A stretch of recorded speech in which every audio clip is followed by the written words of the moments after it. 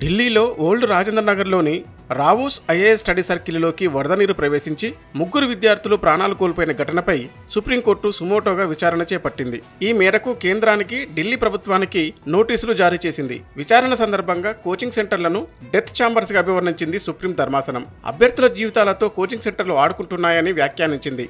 అన్ని భద్రతా ప్రమాణాలను పాటించే కోచింగ్ సంస్థలకే అనుమతులు ఇవ్వాలని ఆదేశించింది. రావోస్ ఘటన నేపథ్యంలో అభ్యర్థుల భద్రతపై ఎలాంటి చర్యలు చేపట్టారంటూ కేంద్రానికి ఢిల్లీ ప్రభుత్వానికి సుప్రీంకోర్టు నోటీసులు జారీ చేసింది. కోచింగ్ సెంటర్లు విద్యార్థుల జీవితాలతో ఆడుకుంటున్నాయన్న అత్యున్నత న్యాయస్థానం భద్రతా ప్రమాణాలు పాటించకపోతే ఆన్లైన్లోకి మారాలని తెలిపింది. ఇలాంటి ఘటనలు పునరావృతం కాకుండా ఉండేందుకు తీసుకోవాల్సిన భద్రతా చర్యలపై ఎన్సీఆర్ వివరణ కోరింది. ఇటీవల ఢిల్లీలోని రావోస్ సివిల్స్ కోచింగ్ సెంటర్లోని బేస్మెంట్లోకి వరద నీరు పోటెత్తడంతో ముగ్గురు అభ్యర్థులు మృతి చెందారు. అప్రమత్తమైన ఢిల్లీ మున్సిపల్ కార్పొరేషన్ నిబంధనలను అతిక్రమించిన కోచింగ్ సెంటర్లను సీజ్ చేసింది. మరోవైపు ఢిల్లీ హైకోర్టు సైతం అభ్యర్థులు ప్రాణాలు కోల్పోవడంపై దిగ్భ్రాంతి వ్యక్తం చేస్తూ అధికార యంత్రాంగంపై ఆగ్రహం వ్యక్తం చేసింది.